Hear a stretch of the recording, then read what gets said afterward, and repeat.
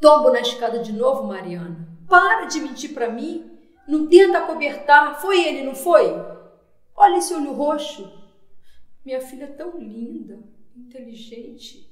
Foi se desgraçar casando com animal que nem esse. É animal sim.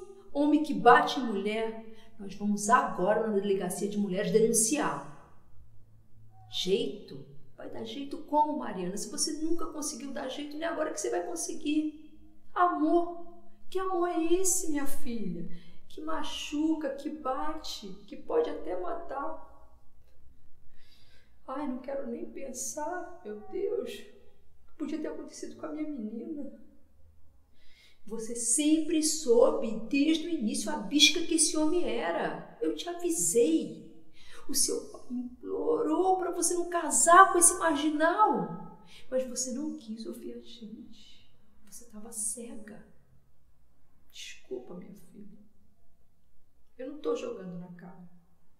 Eu me preocupo com você. Eu te amo. Você é nova.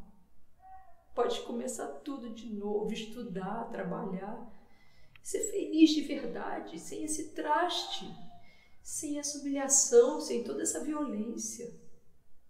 Volta para casa da mamãe, volta. Te boto no colo. Que nem quando você era criança. Eu contava história até você dormir.